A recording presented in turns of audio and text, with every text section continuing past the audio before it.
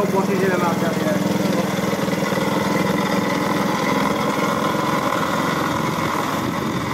Quelqu'un qui peut basculer l'aiguille là On prend mon